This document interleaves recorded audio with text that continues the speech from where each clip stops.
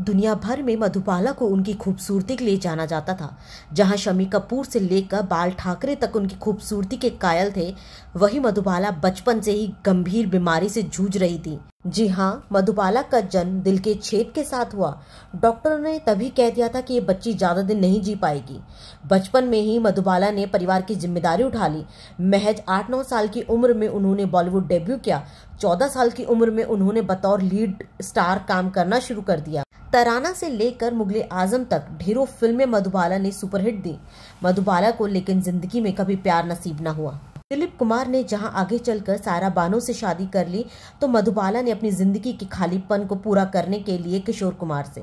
किशोर कुमार को जब मधुबाला की सीरियस कंडीशन के बारे में पता चला तो उन्होंने उन्हें अकेला छोड़ दिया।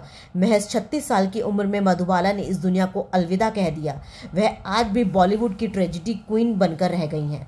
देखते रहिए बॉलीवुड शॉट